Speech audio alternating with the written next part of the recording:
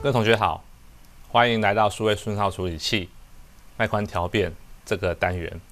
在这个单元最后一个 part 里面，我们要介绍如何来实做脉宽调变。那我们要实做，我们首先我们一样进入 CCS。那这边其实我们要实做脉宽调变的时候，我们可以利用它里面的范例程式。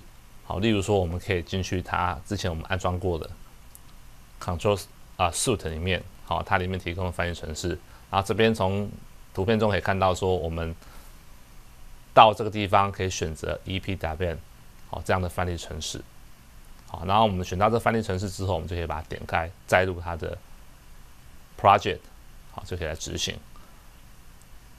然后当我们载入之后，它会包含了一些档案，同时它当然会包含它的主程式，就是这个程式。它的程式基本上我们在这个 part 里面，我们会自己哦改写一个比较简单的程式。好，所以我们就直接把这个它的主程式。好，我们先把它排除在外。好，所以各位同学可以选择我们这边好，exclude from build，就是把它排除在外。好，这之前有讲过。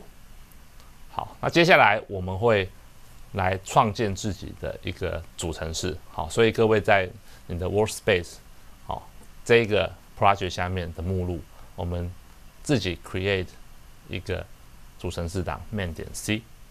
那这边点 c 一开始是空白的。但是我想接下来几张投影片，哦，会分陆续介绍这面点 C 里面的东西啊，同学可以参考这边的面点 C，好，那 key 到你们自己的城市里面，好，来执行我们的专案。好，在面点 C 里面，我们一开始必须做一个宣告，然后这个是做一个隐库的动作，是为了包含我们整个 project 所会用到的一些硬体的设定档，好，这是些标头档。那接下来我们会啊，宣告一个我们的初始化 EP 单面的设定，那这是个 function，好，等下我们会介绍，只是我们这边做一个宣告而已。接下来我们来看我们这个 P 达面，好，它的中段副程式，然后这个 EP 单面一 ISR 的中段副程式，当我们进入 P 达面好的中段副程式里面，我们会做什么事情呢？首先，我们一开始进来的时候，我们就会清除事件发生暂存器，避免说我们继续会产生 EPW 的中断脉搏讯号。好，然后接下来我们会做的动作是，我们会清除 INT 三这个 X 的动作。好，然后我们在之前有提到了，好，为什么要清除它？主要清除它之后，其他的周边。才能使用 CPU INT 三这样的中断。好，那再回到主程式来看，我们这边设定一个我们 PWM 里面好计数器的好周期的数值，我们设成两千。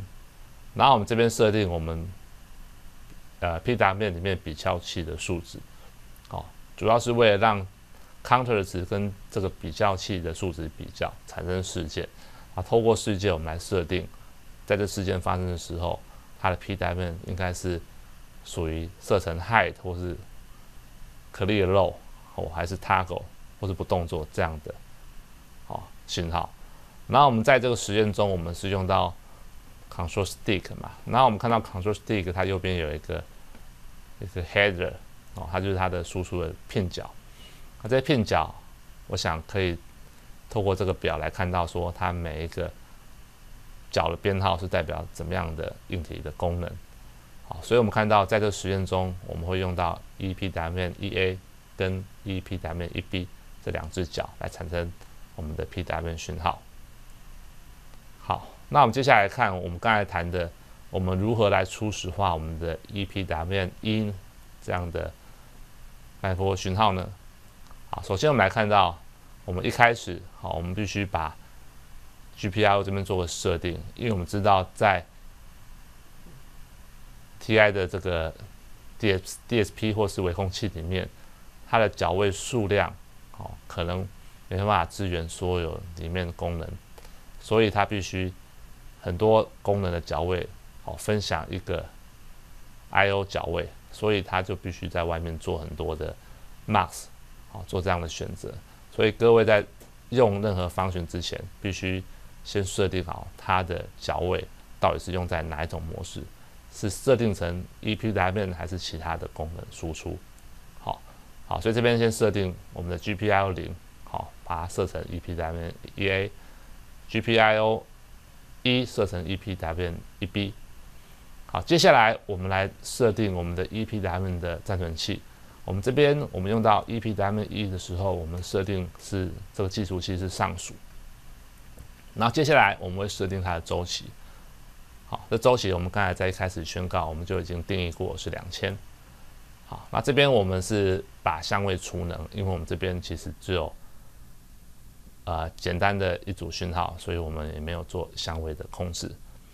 好接下来我们这边设定成，因为这边相位暂存器我们就设成零嘛，因为其实我们不做相位的同步。好，我们这时候把我们的计数器的值归零。好，那这时候我们去设定我们的 T B C L K，就是我们时间计数器的时脉。那这边设计这个值哈，分别是二，所以二乘二等于四。透过我们之前的介绍。TBCLK 它的公式是 System Clock Out 除上这两个值的相乘，好，所以我们就可以计算出我们啊载波计数器的时脉是多少。好，接下来我们会请启动影子的比较器。好，我们知道它比较器有一个有效比较器跟影子比较器，好，所以我们启动它。这时候我们我们设定我们什么时候会载入比较器，更新载比较器的值。当我们 CTR 储成零的时候，我们就会更新我们的比较器的值。好，那我们设定完，这时候我们刚才看过，我们之前有设定过我们比较器，好，就是为了跟康和来比，我们这个比较器的值就设定过程一千嘛。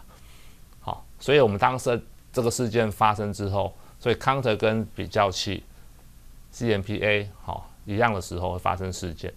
那这事件的时候，我们会产生什么样的动作呢？就是我们这边设定 CTR 等于 Z 的时候，我们 PWM 讯号设定成一。当我们这个 CTR 等于 CMPA 的时候，我们会设定成零。好，当 CTR 等于零的时候，我们同时会产生 PWM 中断。然后这时候我们要智能，好，E P W 中断。好，这时候我们设定成三，代表说我们在这个事件发生的时候，三次发生，我们才产生一次 EPW 中断。好，我们刚才提到，好，那我们刚才这样的设定之后，我们就可以产生出利用非对称的载波，好，来产生出我们要的 P W 讯号。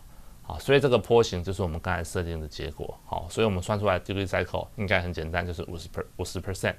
好，所以它当时它的事件分别是 Z 上或者 P 叉或者 CA 下。好，我们就可以看到。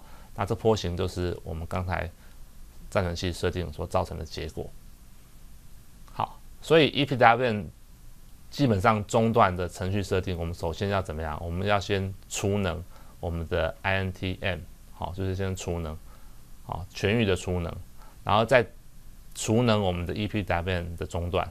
那接下来记得我们要先清除我们 TBCLK，好，同步讯号先把它清除，然后设定完。它相关的周边暂存器之后，好，我们再把 TBCLK Sync 这设成一，好，设定完之后，所有 EPW 模组的时脉就会同步于 TBCLK 的第一个上升源，好，因为我们知道硬体里面有很多 EPW 模组，好，所以我们通常是先把这个 TBCLK Sync 设成零之后，再来设定我们相关的一些暂存器，接下来我们再把它设成一。使得每个模组之间，好 EPW 的模组间，它的时脉会同步于 TBCLK 的第一个上升源。好，那我们来看一下 main 里面，好，接下来我们一开始就是要设定我们系统初始化嘛。好，那接下来我们会去将我们的 EPW 一的中断向量，向量表指向我们的中断副程式。好，然后我们这时候就要执行我们的 EPW 的初始化。好，那这边有看到有一些指令啊，就是这个 allow，allow 就是说它有些暂存器好必须下了指令之后了，因为它有些暂存器是保护好，所以必须下了指令之后，你才能去做写入的动作好。当写完之后，你必须这个 edit 再把再把它进入保保护的状态啊。啊，这是我们看到了说好，我们最后我们要智能我们的 EPW One 的中断嘛。好，那为什么是这个 Smart 设定？我们看到之前讨论过的表，它属于 PIE 第三个 group，好，第一个中断。好，那接下来我们就智能，我们刚才看到的，好，PIE 里面第三个 group 第一个中断。接下来我们再把 INTMM 清除，好，这个 mask 清除，就可以让中断好送到 CPU 去好。所以，我们主程式就是一直没事做，在那边等待，等待中断。好，那如果我们程式开始，我们记得在执行程式的时候，我们要去按下这个 Silicon Real Time 的 Mode。好，然后这边发生这个事状，我们就按 Yes 就可以了。然后我们在观变数观测的时候，我们记得要选择好变数要连续更新。所以我们就可以看到说，我们 GPIO 零好这个 PW 讯号，PWM EA 的讯号。就会这边值就会变化，它这边我们从这个变数观测看到它可以变化，但是事实上这个软体当然不是很及时的，好，它更新时时间好最多是半秒，其实它不可能那么快，所以基本上你要用示波器去量才知道说我们到底设定的波形是否是我们要的，好，所以你必须用示波器来量测我们的 EP 的面的讯号，好，所以怎么量呢？就是把你的 GPIO 跟你的 ground 好。用示波去勾棒去勾，就可以量到像这样的 PWM 讯号。好，所以各位同学如果有示波器的话，就可以这样来操作。各位同学，在这个 unit 里面，我们介绍了脉宽调变，然后脉宽调变是在 TI、MCU 或是 DSP 里面的一个很很常用的功能，因为它已经把脉宽调变这样的硬体的模组整合到 TI 的。微控器里面，所以我们透过软体的设定，我们就可以很轻松的产生出我们要的脉宽调变讯号，来控制像马达或是电源转换器的一些硬体。好，所以在使用上它就变得非常方便，只要一个简单的小小的硬体就可以来控制一个呃马达这样的东西。好，所以在透过软体的方式，我相信各位同学可以轻松的设定你所想产生的脉宽调变波形。